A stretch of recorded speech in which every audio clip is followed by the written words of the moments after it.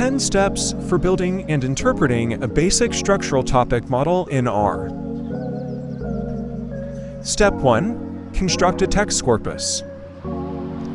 Step 2. Create a document feature matrix. Step 3. Make key decisions about model specification. Step 4. Save your workspace.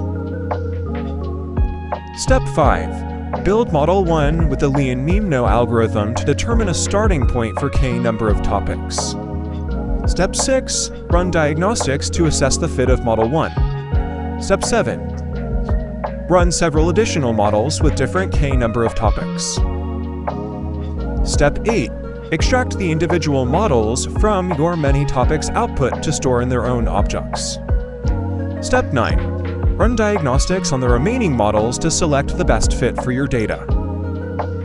Step 10. Data visualization. Obtain and plot word clouds and the topic correlation network. View this tutorial on medsocionwheels.com.